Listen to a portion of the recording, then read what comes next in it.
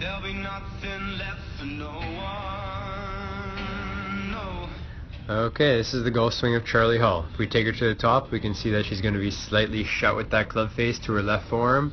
Nothing to be scared of though, because there's actually some elements on the way down that are going to reopen the face.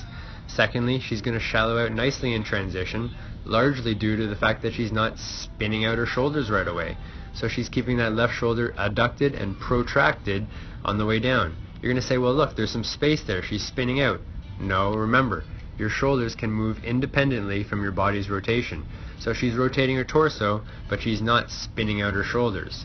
She's keeping that left shoulder adducted and protracted to avoid an early shoulder spin out and a steep shaft. Remember that tip and you'll shallow it nicely in transition. Good luck guys.